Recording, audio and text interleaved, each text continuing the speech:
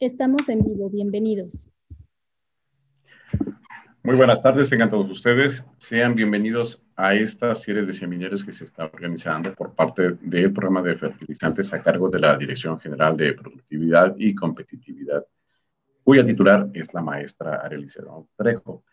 Esta ocasión tenemos un evento relacionado con las semillas, con los diferentes tipos de semillas, las variedades autorizadas para el desarrollo de la escala, las semillas pirata, es decir, y esto está impartido por el ingeniero José Luis Prado Luna, quien está a cargo justamente de la unidad de Servicio Nacional de Certificación de Semillas, que es el SNICS.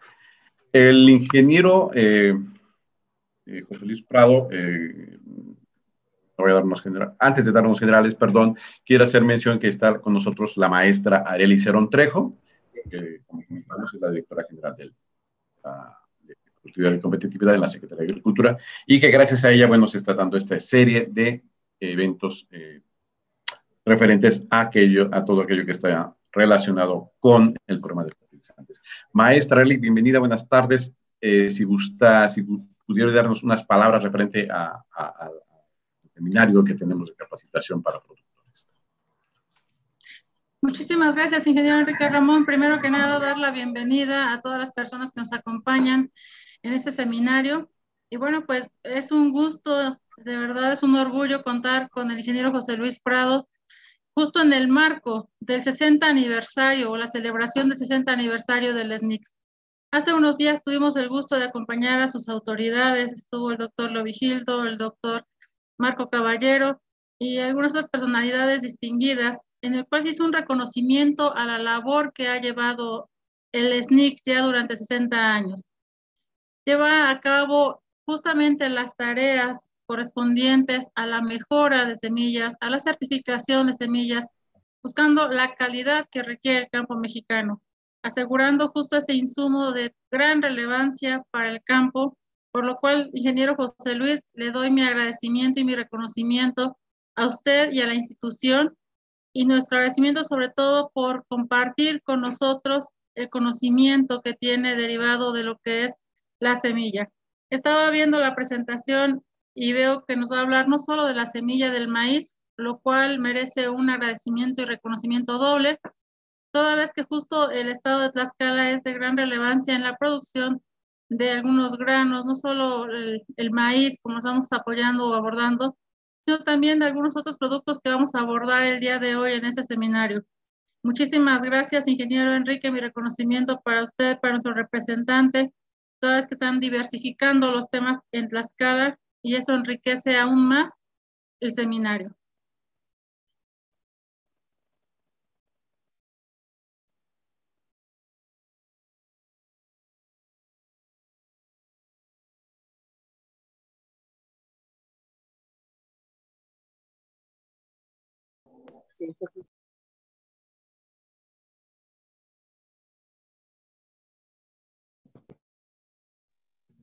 En ese sentido, estamos solicitando aquí al ingeniero José Luis Prado que nos aporte con el conocimiento que tiene la materia.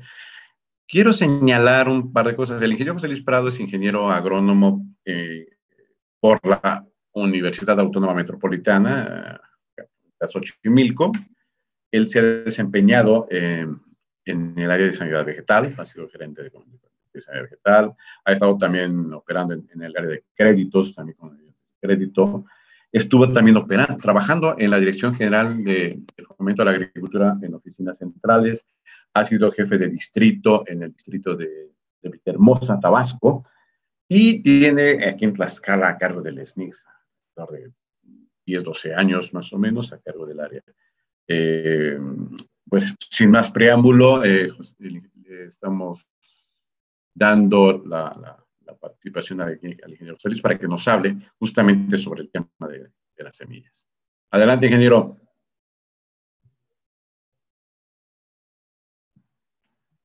Eh, eh, sí. Eh, no, de, quizás tu micrófono está. abre el micrófono. Ahí, abajo a la izquierda. A ver. No. ¿Ahí? ¿Se me escucha? sí. sí. lo escuchamos bien. Ok, gracias. Bueno, este, no, no, este, pues gracias por la, por la invitación, aunque bueno, todos es, estoy en casa, ¿no? A pesar de ser del, del SNICS, bueno, estamos en casa. Eh, sí, este, eh, es muy, muy, muy importante la, la cuestión de la, ya se fue la imagen.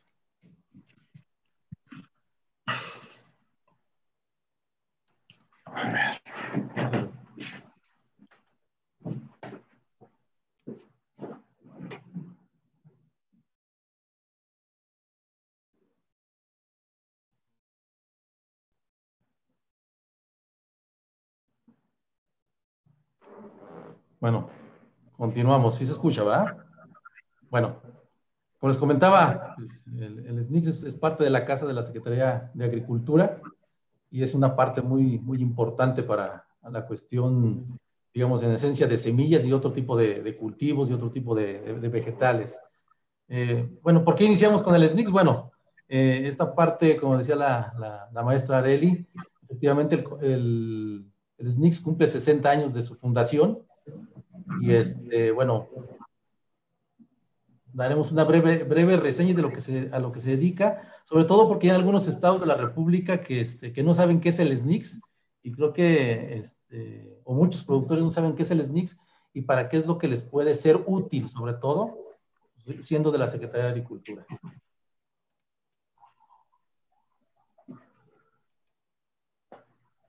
¿Qué es el SNICS? Bueno, el SNICS es un órgano desconcentrado de la Secretaría de Agricultura. Se fundó en el 1961, precisamente por eso tenemos cerca de 60, 60 años. Y tiene una, una historia, ¿no? Una historia pues ya un poco larga. Y esa historia ha sido de mucho provecho para todos, todos nosotros. Eh, y mucho sobre todo para, las, para los productores. Antes de, de, este, de esto, bueno, había un tipo de desorden en la misma en la misma secretaría de aquella entonces era Secretaría de Agricultura y Ganadería nada más. Entonces no había quien regulara, quien regulara las cuestiones de producción de semilla. En aquel entonces la semilla únicamente era producida por el Estado. Entonces, más o menos, en, eh, como se daban cuenta, fue fundado en 1961 y hasta 1996 que se convierte en un órgano desconcentrado de la misma Secretaría. ¿Qué antecedentes tenemos? En 1997, México forma parte de la, de la UPOV. La UPOV es un organismo internacional que se dedica básicamente a la protección de, derechos de obtentor de aquellos que hacen investigación, básicamente, sobre todo para obtener nuevos, digamos, nuevos vegetales o nuevas variedades de, vegetales que en esquemas normales, digamos, de la naturaleza no existen. Entonces, eso es lo que se dedica básicamente en la, parte de la UPOV. SNICS actualmente igual participa este, en un esquema de semilleros de la OCDE. La OCDE es, es un, un, organismo internacional relacionado a la, a la, economía y al mercadeo, pero también tiene parte de la, de la cuestión de regular las cuestiones de producción de semilla y, y nosotros como, como SNICS, así, estamos dentro de ella. Y bueno, para no dejar a, este, las cuestiones del, de las situaciones internacionales, el SNICS también forma parte de la Asociación Internacional de, Análisis de Semillas, que por sus siglas en inglés son ISTA. Este organismo este, emite protocolos eh, a seguir para las cuestiones de certificación y calificación de semillas en campo. ¿Qué hay que decir con esto? Que el SNICS México, como tal, nos regimos por esas normas internacionales con el objetivo de poder estar al nivel del mundo entero, ¿no? ¿Qué funciones tiene el SNICS? Nosotros nos coordinamos con diferentes entes este, públicos y privados, con instituciones de investigación, agricultores y asociaciones, ¿no? Y tenemos tres acciones muy específicas, ¿sí? Una de ellas es salvaguardar y aumentar la producción y calidad de los productos agrícolas desde su origen. Hablábamos de que, bueno, en la agricultura y todo lo que se mueve en, este tipo de, de situaciones, pues no se movería si no saliera de una semilla. Entonces, el elemento principal, el elemento principal en las cuestiones de agricultura y de ahí que se deriven las cuestiones agrícolas y pecuarias, es la semilla. De la semilla salen para forraje, salen este, para frutas, verduras, hortalizas y el mismo maíz, trigo, ¿no? Entonces, de la, de la semilla parte todo. Digamos que la semilla es el principio de todo. Hablábamos de tres acciones. Eh, la acción 1, certificación del origen y calidad de semillas. Eh, en toda la República Mexicana tenemos cerca de 34 eh, unidades operativas del, del, SNICS. Todas ellas este, nos encargamos de supervisar los campos en los que se produce la semilla, cualquiera que ella sea, ¿no? Y sobre todo siendo lícita. Se realizan pruebas de laboratorio y las unidades operativas en cada entidad realizan acciones de inspección a productoras, almacenadoras y comercializadoras. Esto se da por ley. La misma ley de federal de eh, comercialización y certificación de semillas nos da la facultad para hacer estas actividades y revisar que todo se lleve de acuerdo con la ley. La producción de semilla en México es una, es una, este, una actividad que está normada con reglamentos, leyes eh, y algunas otras unas normas. Derechos de obtentor, como les mencionaba, hace un rato mencionaba la UPOP. La UPOP, se encarga de vigilar que se respeten los derechos de obtentor de aquellos que hacen investigación y sacan a la, luz este, una, una, variedad. Entonces, el SNICS es la instancia que promueve el registro y protección de nuevas variedades. Por ejemplo, tenemos hasta la fecha registradas 50 especies de vegetales y principalmente todas de ellas son maíz, rosa, fresa y algodón. Específicamente en el estado de Tlaxcala se han registrado dos títulos de obtentor básicamente que son para dos variedades de amaranto. ¿sí? El dueño de, esta, de estas dos variedades es el Instituto Tecnológico del Altiplano de Tlaxcala. Esas variedades, digamos, son propias y aptas básicamente para lo que es la entidad, lo que es Tlaxcala. ¿sí? Entonces, eh, parte de toda esta situación, eh, Tlaxcala sí ha avanzado, digamos, en este tipo de, acciones. Esperemos que, continúen avanzando, ya sea este instituto u otra institución de investigación, generando, digamos, variedades no solo de, amaranto, sino también de maíz, que somos un centro, centro de origen como Tlaxcala, este, de diferentes colores, ¿no? Y sabores y no tenemos alguna variedad de maíz generada en el estado de Tlaxcala. Entonces esperemos que con los maíces nativos o los criollos que se les menciona, se pudiera hacer otro tipo de investigación y se pudiera generar aquí en el estado de Tlaxcala variedades, eh, digamos, generadas en Tlaxcala y propias para el estado de Tlaxcala. La otra acción que, el mismo SNICS hace es eh, contribuir a la conservación de los recursos fitogenéticos, perdón, México es un país megadiverso. Tenemos muchos, muchos, este, muchas plantas, muchos, muchos insectos, muchos animales, eh, y principalmente eh, somos, como decía, un centro de origen. Entonces, como SNICS contribuimos a la conservación de la biodiversidad en México, de los recursos fitogenéticos. El SNICS protege estos recursos, digamos que impulsa la integración de redes de agricultores, Mencionábamos que tenemos contacto con investigaciones, con instituciones y asociaciones y empresas privadas, que ellos también se encargan de hacer investigación y, este, digamos, conservar algunos de estos tipos de recursos fitogenéticos. Entonces, como se darán cuenta, la, cuestión del SNIC no solo es vigilar campos de producción de semilla y, vigilar este, almacenes, sino también vigilar que nuestros recursos fitogenéticos eh, tenemos un gran detalle que tenemos aquí, por ejemplo, en el estado de Tlaxcala. Eh, hablamos de la zona de Istenco. Tienen una gran diversidad de maíces de color, amarillos, y todo, muchos de ellos, este, digámoslo así, no están protegidos, no están ni registrados. ¿eh?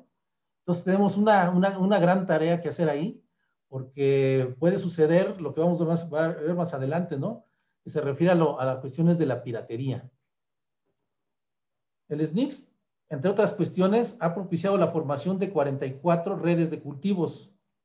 Eh, son, tenemos cactáceas, tenemos anonáceas, tenemos gran, este, lo que es el maíz, o sea, tenemos 44 y este, yo les puedo asegurar, así abiertamente, que son pocos los productores que conocen que tenemos 44 redes de cultivos.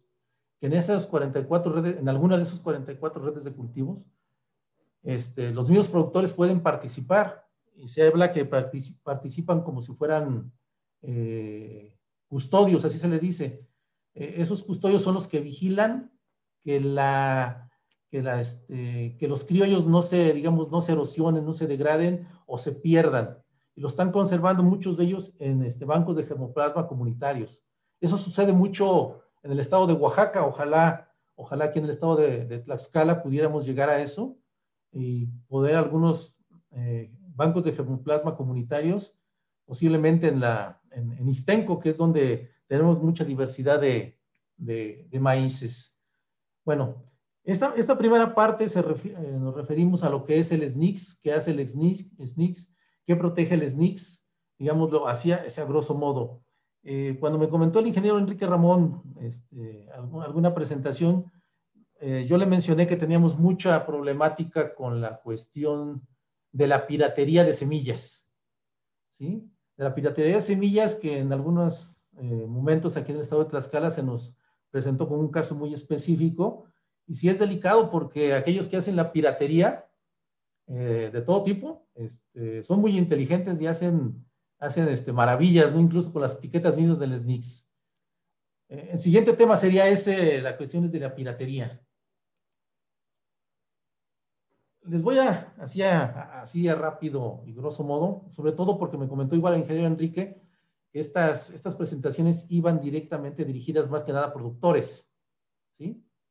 Entonces, por ejemplo, las semillas piratas son semillas que no cumplen con los estándares de calidad, de sanidad e inocuidad, lo que puede provocar cultivos de bajo rendimiento, plagas y o contaminación del suelo, traduciéndose en pérdidas económicas o daños naturales irreparables. ¿Qué quiero decir con esto? Eh, las semillas piratas pueden ser grano pintado. Puede ser grano pintado incluso de, otros estados de la República, de otras entidades de la República, que aquellos que hacen esa actividad totalmente ilícita, pues toman la libertad de pintarlas de ese colorcito como morado o, este, o rojizo y las envasan y, este, y al productor se la venden como semilla apta para siembra. De acuerdo con la ley de producción, certificación y comercio de semillas, la, categoría apta para siembra no, no, no existe. ¿sí? Aquí en Tlaxcala muchos productores manejan que ellos les venden semilla apta para siembra de trigo, semilla apta para siembra de maíz, semilla apta para siembra de, cebada, de triticale, este, apta para siembra de, de, amaranto. La categoría apta para siembra en la Ley Federal de Producción, Certificación y Comercio de Semillas no existe. En la ley solo existen, digamos, oficialmente tres categorías de, semillas certificadas, que es la semilla original, que no se le pone ninguna etiqueta, la semilla básica, la semilla registrada y la semilla certificada. Esta última es la, más común, que es la etiqueta azul del, del que viene, que viene este, con todas las características que más adelante, más adelante la veremos. Entonces, ¿Por qué es que afectan a los productores? Bueno, porque el productor aparentemente compra una, una semilla de calidad, aparentemente, entre comillas, que le dicen que está certificada, eh, y, realmente compra un grano comercial que posiblemente ni siquiera apto para el estado de Tlaxcala es, y al final el productor se ve afectado porque termina produciendo este, ser producción o muy baja producción y de muy mala calidad. ¿sí? Y entonces al final en su, en su bolsillo, pues es donde se le nota, ¿no? Donde se, se ve la afectación porque al final no obtiene eh, la producción que él esperaba. Hablábamos de que todas las variedades, tanto de los investigadores como las nativas, digámoslo así, tienen que estar registradas para estar protegidas. Entonces, las variedades vegetales factibles de certificación, de certificación perdón, tienen que estar registradas en el CNBB, es el, CNBB es el, Catálogo Nacional de Variedades Vegetales. Ahí es donde se pueden registrar todos los maíces criollos. Y la Gaceta Oficial de Derechos de Obtentor. En la Gaceta Oficial de Derechos de Obtentor viene el registro del título de obtentor con el cual el investigador registró su variedad que obtuvo mediante una investigación. ¿sí? Por ejemplo, si alguna variedad puesta en circulación no está registrada en estos dos documentos, la podríamos considerar como una semilla pirata. Eso se especifica en el artículo 38 de la Ley Federal de Producción, Certificación y Comercio de Semillas. Como les vuelvo a repetir, está la, cuestión de la regulación de la, y comercialización de las, de las semillas, está muy normado, está mediante una, una ley. Y, Naranjas no, nada más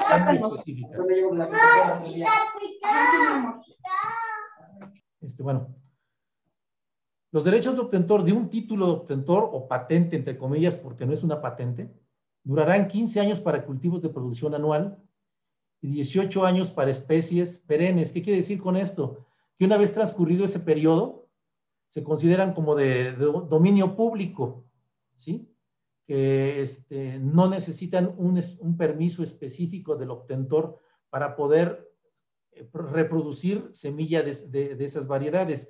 Obviamente el, el, obtentor, pues obviamente tiene los progenitores que derivan esas variedades, ¿no? Entonces, como les menciono, Después de ese periodo ya se consideran como de dominio público libre. Digamos, les pondríamos un ejemplo. Eh, el, durazno, oro de Tlaxcala. En un principio estuvo, digamos, entre comillas, protegido por, el, obtentor y después de un tiempo ya, ya pasado, eh, ya se puede formar, de, digamos, de dominio público. La ventaja del, del, del oro de Tlaxcala o del durazno es de que mediante yemas este, se puede injertar a unos patrones y pueden seguir, seguir reproduciendo ese, esa, esa, variedad de durazno. Sin en cambio, hay, hay variedades de, digamos, de maíz, de trigo, de ticale, que solo con el permiso del obtentor, este, cuando están protegidas y aún así cuando el obtentor les venda una variedad que no está protegida, bueno, pueden producirla este, como si fuera sin necesidad del, obtentor su permiso.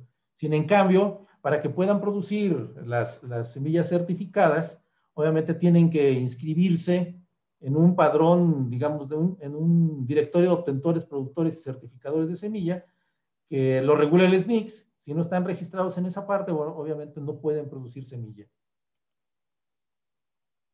¿Qué nos ocasiona las cuestiones de la piratería? Como se darán cuenta ya en la proyección, eh, es una cifra muy, muy, digamos, significativa. No está actualizada. Hablamos de 19 mil millones de pesos, lo que, lo que produce la cuestión es de comercialización de semilla. Si lo trasladamos al tipo de cambio ahorita del, dólar, estará como cerca de 20 mil millones, un poquito de más de 20 mil millones de, de, digamos, de pesos.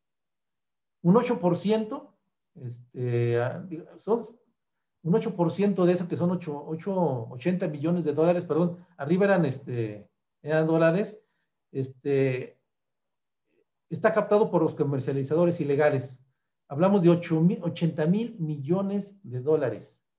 ¿Sí?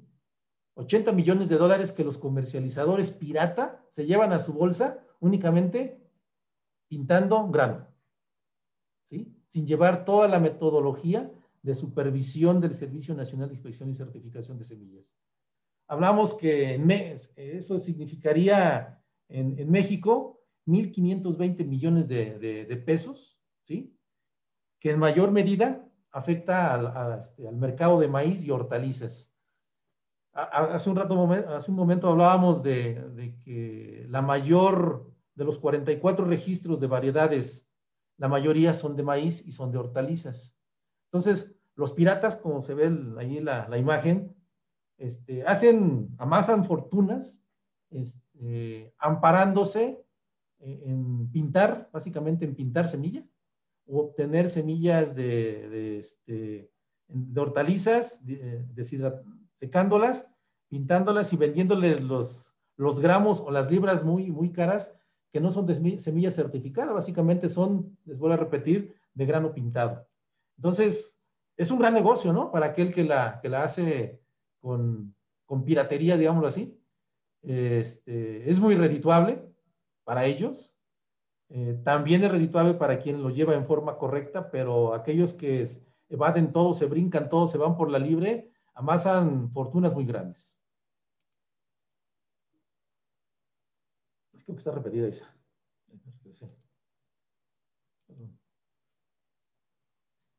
Acciones que nosotros como SNICS hacemos. Obviamente eh, necesitamos ayuda de, los productores mismos. ¿Por qué? Porque muchas de las acciones que nosotros hacemos las hacemos a petición de parte. ¿A qué, ¿A qué, se refiere esto? Que solo mediante una denuncia de productores es como el SNICS puede actuar realizando no solo supervisiones, sino verificaciones y acciones de autoridad, eh, yendo concretamente a los comercios que el productor nos comente que le vendieron semilla pirata o le vendieron una semilla que no cumple con las características.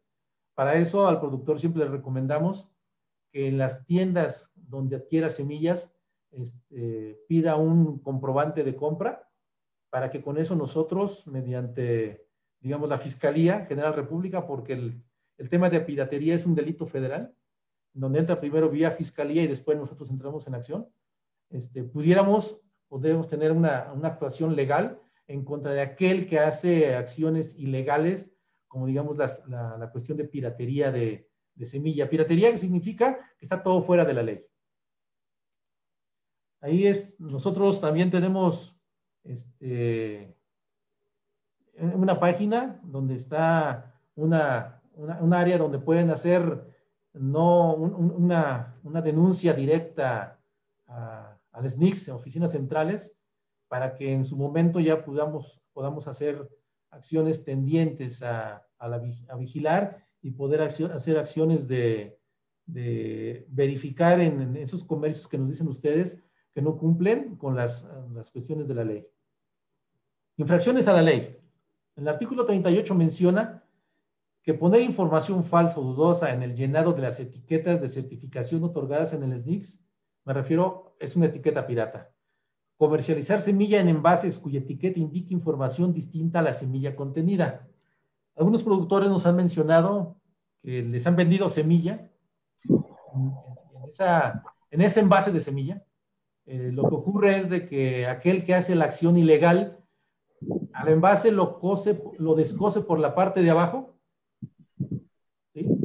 ya tiene su cocedora para hacer eso, lo descose por la parte de abajo, lo rellena con grano pintado, lo vuelve a coser y así es como lo vende. Una de las ventajas de, digamos, de, que tiene la etiqueta azul es que cuando nosotros otorgamos una etiqueta de certificación, esa etiqueta de certificación tiene un folio único y jamás se vuelve a repetir en la vida. Entonces, ese folio es rastreable. Nosotros sabemos a quién se lo entregamos para que se lo pegara a sus, envases de semilla certificada. En dado caso que ocurriera un ejemplo como el que les puse, lo rastreamos, visitamos al productor, al productor de semilla que, vendió la, que le vendió la semilla a, otra persona y él nos dirá a quién le volvió a vender ese, ese, ese envase con semilla certificada, que es en esencia fue que habría cometido el ilícito de haberlo descosido por abajo y haberlo rellenado, ¿no? Otro de las, de las infracciones es difusión de información falsa de las características de la semilla. Eh, encontramos algunos envases que decía semilla certificada de maíz y en su etiqueta decía maíz blanco y al abrirlo era un, maíz amarillo. Entonces, este, ahí es donde eh, se, menciona que es un, una, una, acción ilegal, una acción que, tiene digámoslo así, se considera como un delito federal por haber este, violado la ley. Y también comercializar cualquier categoría de semillas que no cumpla con lo dispuesto en el artículo 33 de la Ley Federal de Producción, Certificación y Comercio de Semillas. Eh, mucho de esta cuestión, digamos, los productores a la, cual está dirigida esta, esta presentación, desconocen. cuando los engañan, eh, simplemente pues se conforman, ¿no? se resignan a perder dos mil pesos de un envase, de un bulto de semilla que compraron. Eh, si nosotros nos podemos saber que es dos mil pesos de un productor, pero si esta empresa, suponiendo que venda dos mil envases, este, de a dos mil pesos es una cantidad considerable, ¿no? Son cerca de cuatro millones de pesos. Entonces, por eso es que es tan, tan redituable para aquellos que lo hacen en forma bien, es tan redituable la, la, la comercialización y la producción de semilla. A continuación, eh, estos, estos datos, así en esos recuadros que, ven, son los datos que debe de contener la, etiqueta de certificación que nosotros expedimos una vez que ya le dimos todo el procedimiento de calificación en campo, normativamente para la, para la certificación de semilla. El, uno de los datos que debe llevar es el nombre del organismo o productor que produce la semilla. Tipo de categoría de semilla. ¿Qué porcentaje de germinación? Variedad y cultivo y porcentaje de pureza de semilla. Son los datos que debe de llevar. Aquí tenemos la, etiqueta. Es, una presentación de etiqueta viejita y es diferente, pero en esencia conserva los mismos, los mismos datos a ser este, contenidos. ¿no? La etiqueta en esencia contiene el escudo nacional, donde dice SNICS es una marca de agua, información técnica comercial en esta parte de, este recuadro. Eh, el SNICS, se los comento, es una marca registrada, está registrada en el INPI. Este, la etiquetita eh, en sí, les digo, es, también está registrada, por eso, aparte de aquellos que hacen piratería de granos, que es un delito federal, cuando clonan nuestras etiquetas, que ya los hemos encontrado, cometen también otro delito de, este, pues así de derechos de obtentor y de patente, porque esta etiqueta tiene un patente que en esencia es la Secretaría de Agricultura.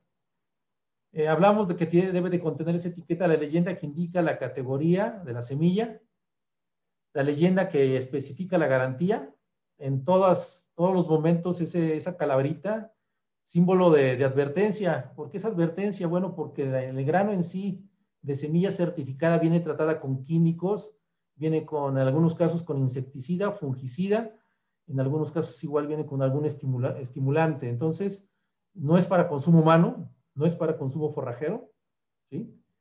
Y aquí donde dice año de emisión y número de folio, es donde tenemos un, folio único que no se vuelve a generar nunca más este, con nosotros porque eh, eh, no se repite, ¿no?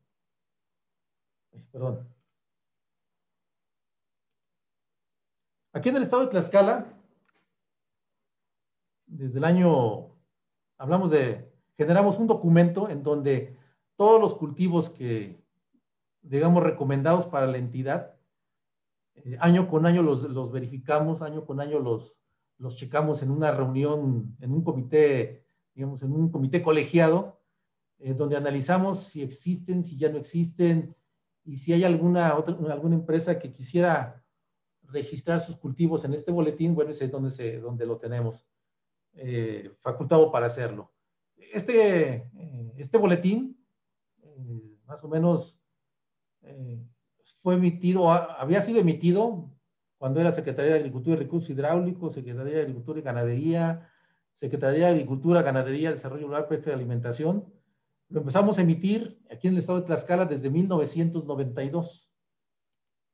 Ya para 1993 y hasta el 2012, este boletín de cultivos recomendados, digámoslo así, se, ya lo emitimos aquí en el estado de Tlaxcala.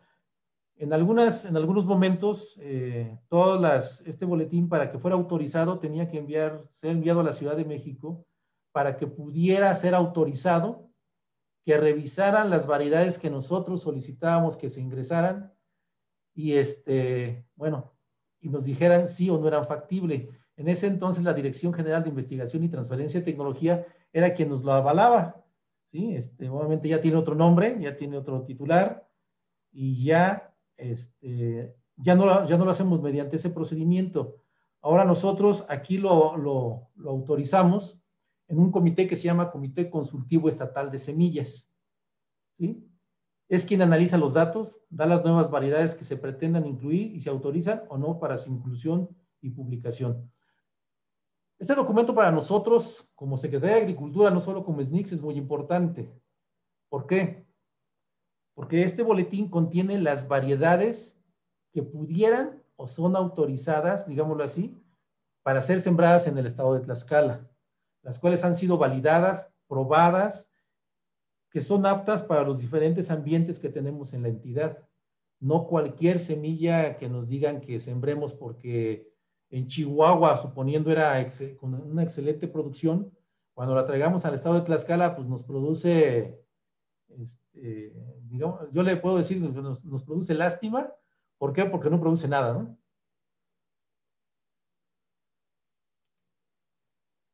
¿Qué utilidad tiene el, boletín?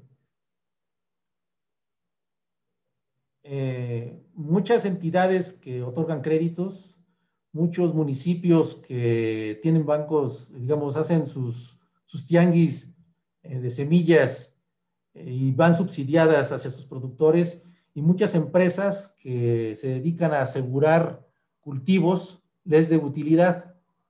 ¿Por qué es de utilidad? Bueno, pues porque en, este, este boletín solamente se incluyen aquellos cultivos los cuales han sido probados y validados para el estado de Tlaxcala. No está ningún cultivo que no se haya validado.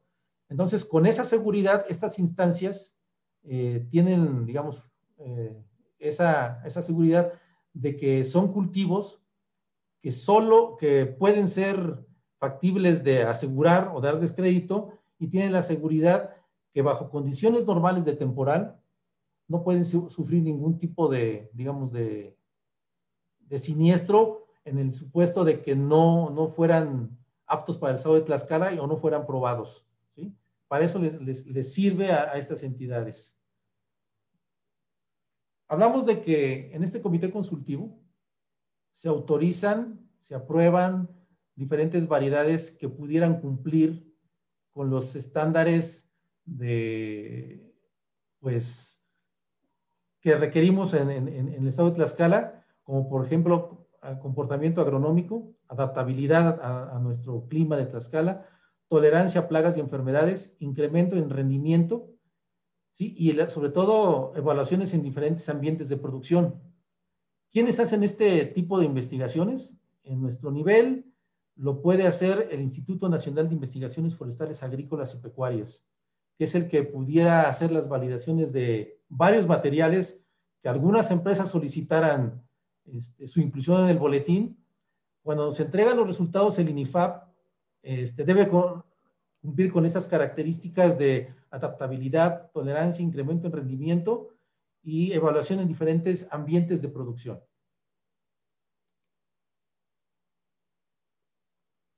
Una vez que el INIFAP, en el seno del Comité Consultivo Estatal de Semillas, entrega los resultados, esos, esos resultados, dice, presentan características sobresalientes en su comportamiento agronómico, adaptabilidad, tolerancia a plagas y enfermedades, incremento de la producción. Cumpliendo con esas características, se considera como una alternativa de, de, recomendación para que el productor final se beneficie. ¿Por qué se beneficia? Bueno, porque tiene la seguridad de que la semilla y la variedad que está sembrando es apta para el estado de Tlaxcala y también es apta para la zona agroecológica en la cual él se desempeña. ¿sí?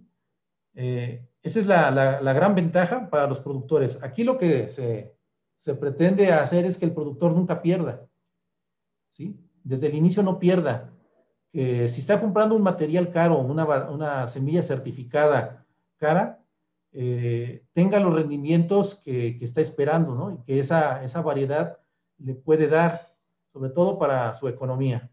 Esto le beneficia mucho a los pequeños productores, a los productores a los que estamos intentando impulsar, que son hasta los de 5 hectáreas, que su, producción, digamos, se incremente y que esta actividad signifique un, digamos, un negocio para ellos para que al final tengan pues, utilidades y puedan ser beneficiados. Este es el boletín de cultivos recomendados para el estado de Tlaxcala. Les menciono, a nivel nacional, solo el estado de Tlaxcala lo sigue emitiendo. ¿sí? En ninguna otra entidad de la República Mexicana se emite este boletín de cultivos recomendados. Aquí es un ejemplo, por ejemplo, tenemos la, digamos, cebada, tenemos localidades y región en donde es factible estas dos variedades el ciclo vegetativo que tiene cada una de ellas, cuánto es lo que se recomienda por hectárea a sembrar, en qué modalidad, las fechas de siembra y la fecha de cosecha. Este, les digo, este es un ejemplo, eh, está el ejemplo de maíz, tenemos los ejemplos de trigo, de, avena, de frijol, de papa, de amaranto.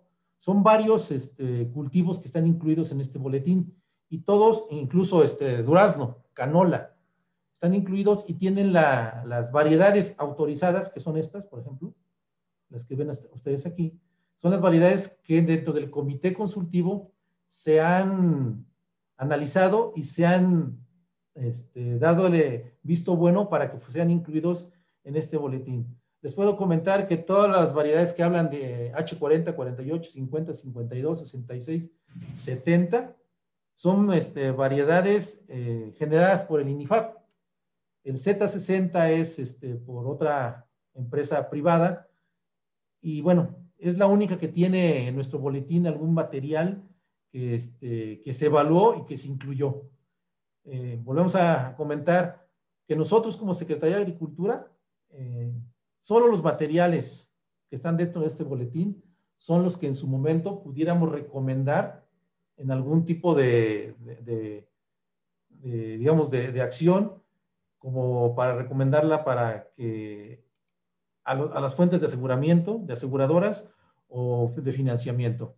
La otra utilidad que tiene este, este boletín de cultivos recomendados, una vez que ya tenemos los cultivos, bueno, este, y el INIFAP se encargaría de hacer los paquetes tecnológicos básicamente para cada cultivo, cuando así lo necesitáramos. Y en conjunto con el INIFAP, nosotros este, lo que hacemos es igual hacer algunos costos de cultivo para actualizarlos, ¿sí? Entonces, cada año eh, se actualizarían costos de cultivo para los determinados cultivos que tenemos en el boletín de cultivos recomendados.